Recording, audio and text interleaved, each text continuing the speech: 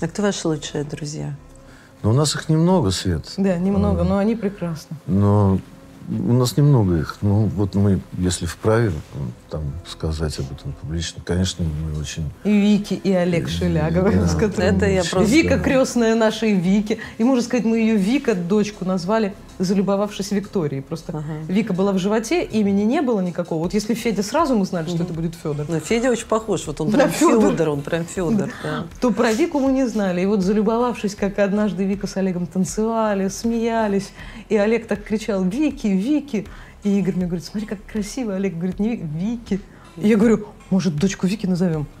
И Игорь говорит, точно вариант. И дальше, вот когда прошло время, и она родилась, нового имени не придумалось. И она родилась, и мы подумали, точно, ну это же Вики. Вики.